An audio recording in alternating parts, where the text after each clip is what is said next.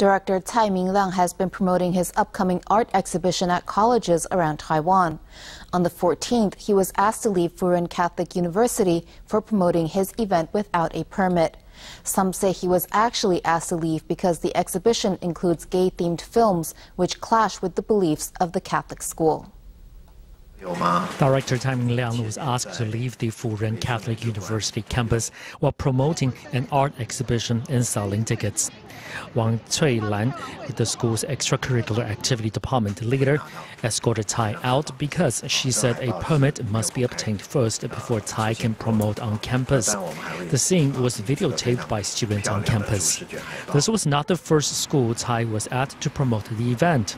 Though he did admit he failed to apply for a permit, he was disappointed that the school didn't support the cause of promoting the arts and didn't tell him how to get a permit to continue his promotion at the Catholic school. However, Tsai sold more than 200 tickets outside the campus. Some people suspect the reason for the incident was a religious one, for Tsai is promoting an exhibition that contains gay-themed movies, which the conservative Catholic school can't tolerate. The school's movie club, however, said that it really was an administrative issue, that it was the reason for the incident and nothing more.